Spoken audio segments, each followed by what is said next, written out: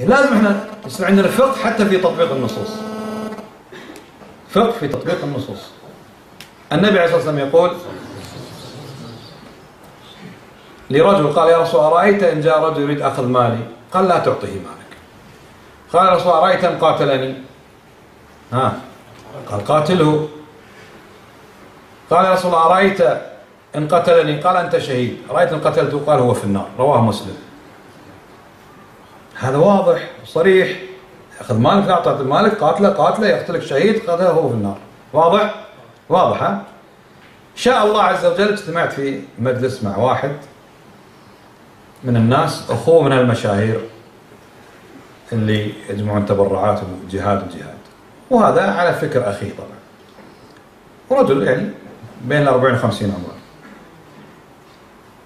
سبحان الله مني يتكلمنا كنا في رمضان على الفطور يعني عادي كان يقول كذا النبي صلى الله عليه وسلم قال قاتله يعني ليش ما يحق له واحد يقاتل؟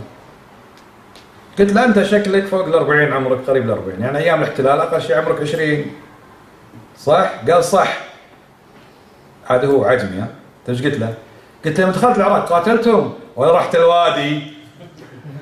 كان ينزل عيونه قلت له ليش ما قاتلت؟ ليش ما قاتلت؟ يا جماعة الشعب الكويت كله ما قاتل. واللي قاتلوا كم واحد ولا السالفة أكبر منهم. وسكتوا صح ولا لا؟ هاي الحقيقة ولا لا؟ الجيش الرسمي انسحب. القيادة قالت له انسحاب وعدم مقاومة. دخل عليك ببيتك تبي تقاتله؟ قاتله يجوز لك مشروع. في ناس الآن سوريون خرجوا إلى الأردن إلى لبنان إلى تركيا. في ناس في الخليج في غير الخليج من سوريا. هناك هلا يقتلون من حمص وغيره. ما راحوا.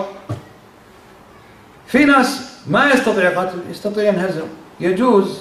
جائز هذا. ما يش ما أوجب الله عليك إن جيش جرار جاي بعدد وعدة وقتال وأسلحة أروح أنا اقاتله وأنا عاجز ولا أنا مدني ولا أطفال ونساء. ما يجب عليه هذا الشيء.